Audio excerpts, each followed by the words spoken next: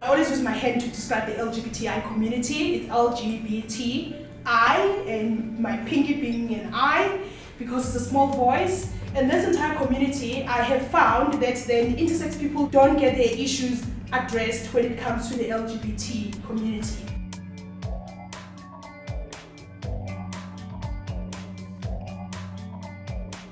Growing up, I knew that I was different, but um, I didn't know the correct word to describe myself. Being intersex, you need to be, it, it, it, it affects us mentally and physically. So when we meet other people, you, you open up and it helps. It's like rehab. So that's why I had to come. I attend most of the, the intersex workshops. I love them to bits because they're informative. I mean, the more eggs of information I got in my basket, the more I'll be able to become a supporting structure to majority of friends and colleagues and people who want to learn more about uh, intersex and conditions related.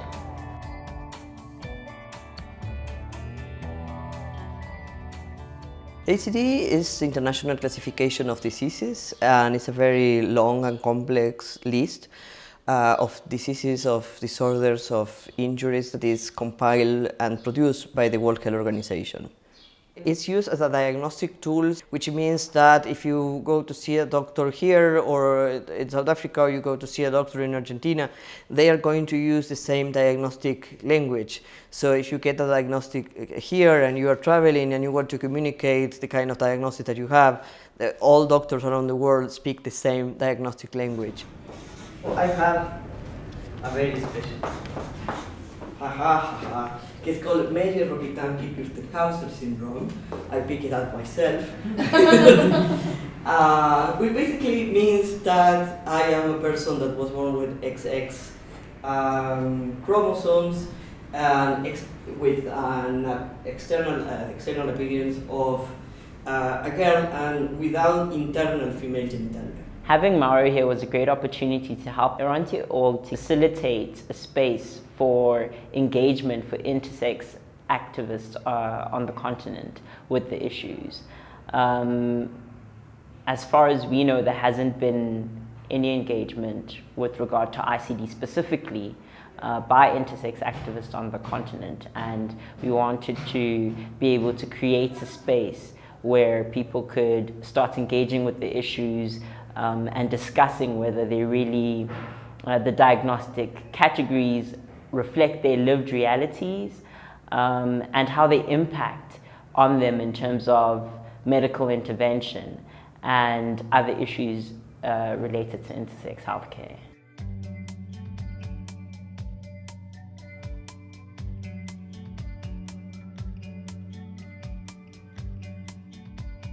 Meet the people, you know, from you know the different uh, based at the different countries to provide information about how these codes are related or not with their current realities.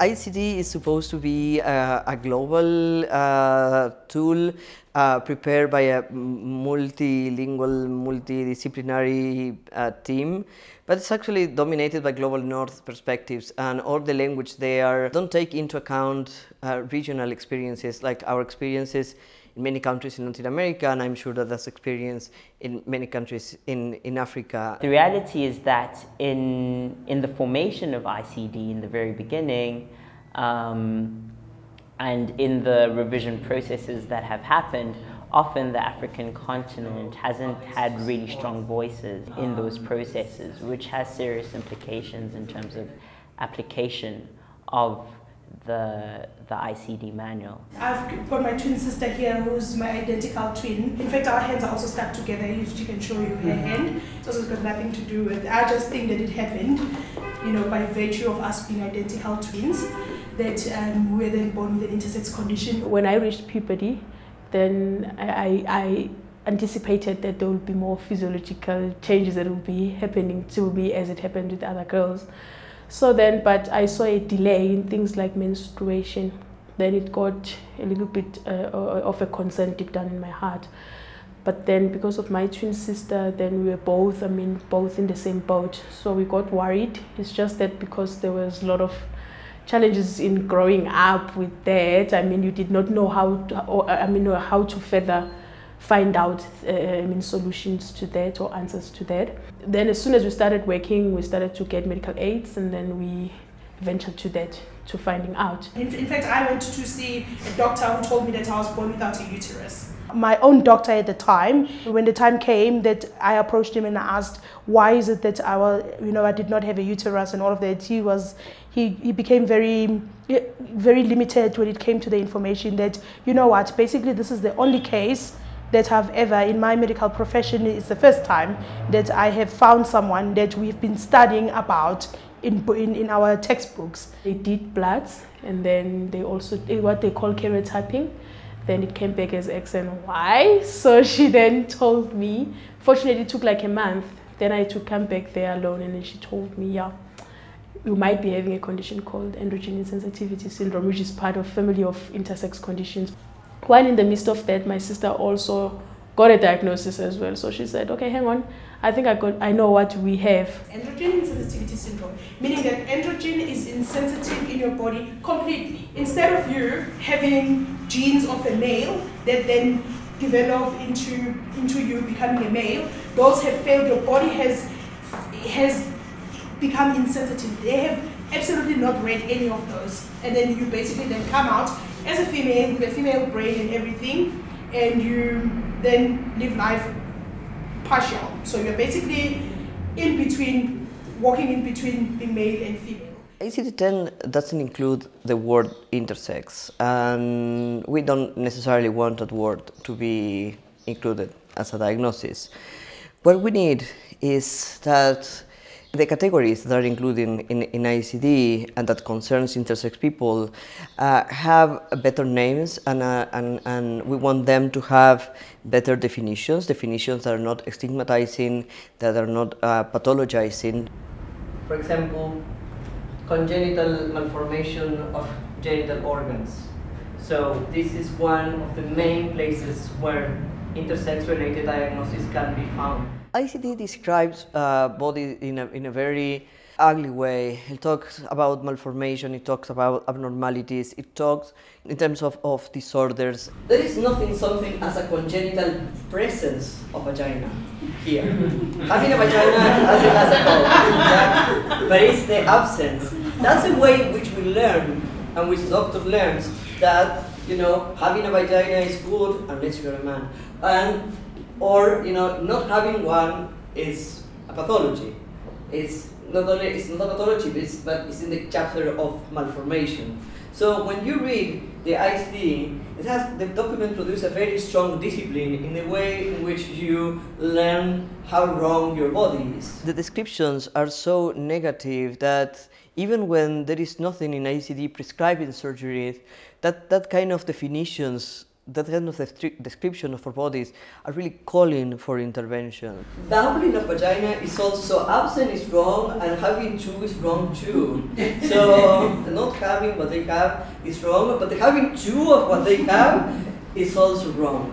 I was assigned as a girl when uh, when I was born, and and, and raised as, as a girl. Uh, I started identifying as some, something different as a girl when I was uh, a child. But when I was starting to be a, a, teenager, it was discovered that I didn't have internal female genitalia, basically, that I didn't have a vagina. And for my, my doctors and my therapists, it was a clear link between not having a vagina and not identifying as a woman. So they, they made this strange connection, like if they provide me one uh, by doing a surgery, I will start identifying as a woman. ICD doesn't say anything about how these bodies have to be treated.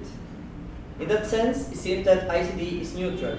What we are saying is that, but if you are saying that not having a vagina is pathological and having two vaginas is, is pathological, basically what you are you know, saying, you're pointed out in the direction that having one is the right way.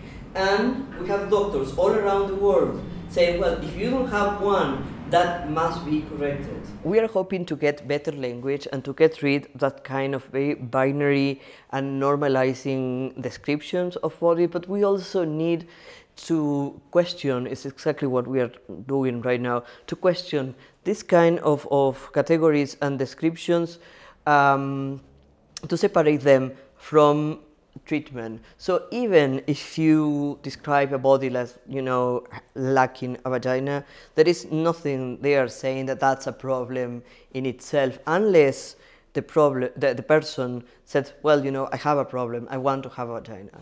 Um, in my case, I didn't want to have one. I was forced to have one. There is always that element of they're trying to correct you, they're trying to fix you, they're trying to, should you not do this, then you are not going to be acceptable in a society, you're not going to be normal. I was then born with um, um, uh, internal testes that, that never descended. So they're basically hidden inside me.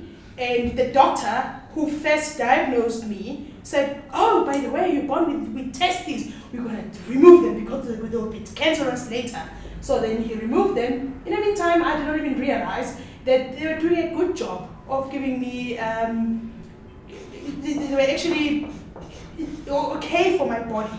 You know, there are other genes that are good, such as um, for me not to get hot flashes and, you know, and, and, and the whole entire spectrum of things that happen. So immediately he was supposed to put me on a hormone replacement therapy because now he has taken something that has been producing certain hormones, so he's supposed to be putting me in a therapy. And again, yes, I know he would debate to say that you know at the time that we did it, we had to sign a consent form, but only if I understood what I had, I would have decided. I know that my twin sister here, she has not undergone such an, an, operation because it's her right not to. Especially with early interventions, people who had surgeries when they were um, children or babies, people have scars and they, they can't explain what happened to them. They don't have access to their own um, medical records, which is really a violation of the right to identity and to the right uh, to truth, to, to know, you know, what happened uh, to you. We advocate for work such as do not remove anything. Do not try and patch and cover things. Let a child grow. Let them have a freedom to decide where they would like to, you know, where, where their journey takes them, and then they can decide to close or to remove or to, you know. There is no way, you know, of, of getting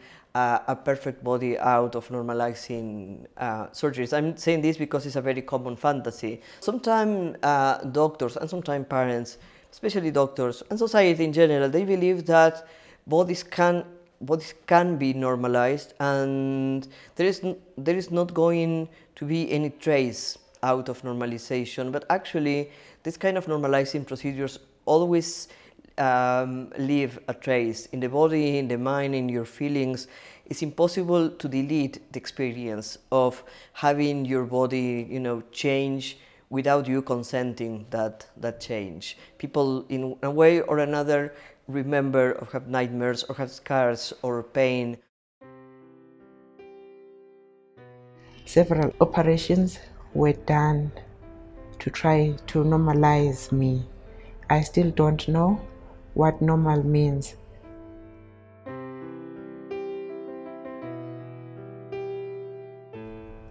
My parents fought all the time because they disagreed on my gender. Mom wanted me to be raised as a girl, and dad wanted me to be raised as a boy. At one stage, I changed names from Temba, a male name, to Tembelani, a gender neutral name and then Tembani, a female name. I missed out on so many things that young kids do. I was deprived of proper, precious, and important privileges of childhood and innocence. I wasn't allowed to play, undress, or even swim with other kids because my genitals looked different from theirs. There are times when I wish I could go back and be a child again. Somehow I believe that I will do it differently. I will love myself, I will play more and will accept myself earlier. Talking about it helps me uh, uh, physically and emotionally. Before I was uh, always stressed, like I had a lot of anger inside, like I'll ask, why me? Why not her? Why not him? So now I, when the more I talk about it, the more I understand that it's out of my control. Like I don't have any control over it but I just have to accept the person that I am and uh, try by all means to move forward and uh, do the best that I can to be happy. If you cannot impact the entire world, you start within your own surroundings, you start with your own environment. Awareness, awareness, awareness. In as much as the biggest field in the world is advertising, I mean, I mean exposure to information, access to information, I mean, in all diasporas, I mean, that's I mean, that's the, that's the the more people info, are, are able to access information, is the better the stigma will reduce. So you teach only one person who can teach 10 and teach 20 and the message spreads like wildfire.